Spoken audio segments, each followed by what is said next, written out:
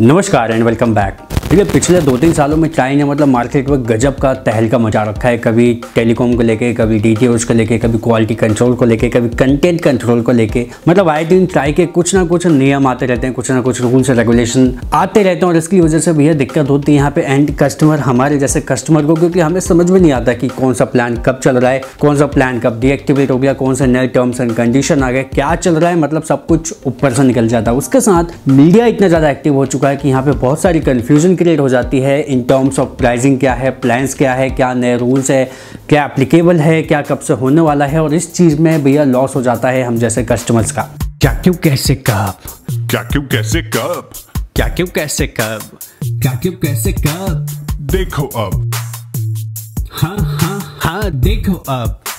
देखिए, यहाँ पे अगर हम बात करें पहले की तो पहले जो ट्राई का पूरा फोकस था, वो था यहाँ पे टेलीकॉम के लेके। क्योंकि जब जियो आया तो जियो ने मार्केट में ऐसी तबाही मचाई कि यहाँ पे मतलब ट्राई को बीच में आना पड़ा और उसे बहुत सारे रूल्स एंड रेगुलेशन चेंज करने पड़े। इन टर्म्स ऑफ़ प्राइसिंग हो गया इन टर्म्स ऑफ़ आप ले लो एम प्रोसेस मतलब आप सिम कार्ड जो पोर्ट करते हो एक ऑपरेटर से दूसरा ऑपरेटर में। लेकिन अब यही चीज़ ट्राई दोबारा एप्लीकेबल करने वाला है डीटीएच सेगमेंट में मतलब आप जो घर पर टीवी देखते हो तो वहाँ पे एक सबसे बड़ा चैलेंज आता है वो ये कि जब भी आपको अपना डीटीएच चेंज करना है।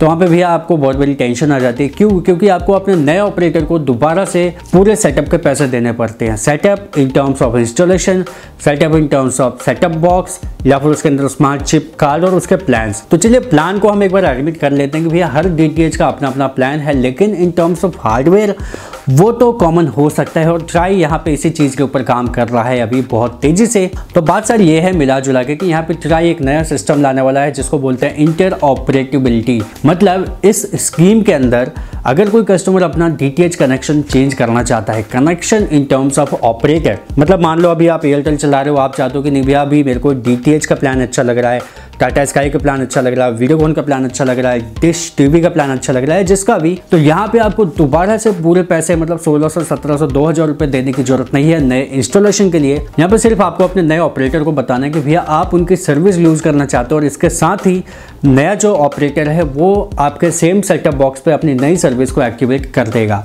मतलब कि यहाँ पे कुल मिला के बात यह है कि अब आपका जो सेटअप बॉक्स है, जो पुराना वाला, जो रिमोट है, जो केबल है, जो ऊपर छतरी लगी है, सब कुछ चेंज करने की ज़रूरत नहीं पड़ेगी। अभी तक अगर आप ऑपरेटर चेंज करते हो, दूसरे ऑपरेटर में जाते हो तो आपको सब कुछ नया लगाना पड़ता था, पुराना सारा वेस्ट हो जाता था, लेकिन अब ये सब करने की ज़रूरत नहीं। अब जो एग्जिस्टिंग सिस्टम है, उसी के अंदर सारी चीज़ें की जाएँगी। अब इससे फ़ायदा ये होगा कि भी आपके पास पूरी फ्रीडम आ जाएगी। मान लो आप एयरटेल यूज़ करते हो, आप परेशान हो गए, या फिर एयरटेल का प्लान आपको लगने लगे कि नहीं भैया, महँगे हैं और उसी टाइम पे आपको अगर अगले ऑपरेटर में कुछ सस्ते प्लान कुछ अच्छे प्लान दिख रहे हैं तो आप अपने ऑपरेटर को यहाँ पर चेंज कर सकते हो। रूल्स रेगुलेशन होंगी यहाँ पर जैसा कि टेलीकॉम में होता है कि मतलब तीन महीने आपको एक सर्विस प्रोवाइडर के साथ रहना है। तीन महीने बाद ही आप चेंज कर सकते हो, वो सारी चीज़ें यहाँ भी शायद होने वाली हो। लेकिन सबसे मेन बेनिफिट यहाँ पे आपको ये देखने को मिलेगा कि यहाँ पर आपको सेटअप बॉक्स चेंज करने की ज़रूरत नहीं पड़ेगी। अब जो सेटअप बॉक्स है, आपने देखा होगा, ध्यान दिया होगा, उसके अंदर एक कार्ड आता है, ठीक है? एटीएम जैसा कार्ड होता है, उसमें एक चिप होती है। उस चिप पे ही सारी इन्फॉर्मेशन होती है। तो अब जितने भी सेटअप बॉक्स आ रहे हैं, उनमें कोशिश की जा रही है कि वो इस मॉडल पर बने कि इन फ्यूचर अगर आप ऑपरेटर चेंज कर रहे हो तो वहाँ पर भैया सिंपल अपना कार्ड निकालो और दूसरे ऑपरेटर का कार्ड डालो और इस तरीके से दूसरे ऑपरेटर की सर्विस आपके सेटअप बॉक्स पे, पुराने वाले बॉक्स पे एक्टिवेट की जा सकेंगी।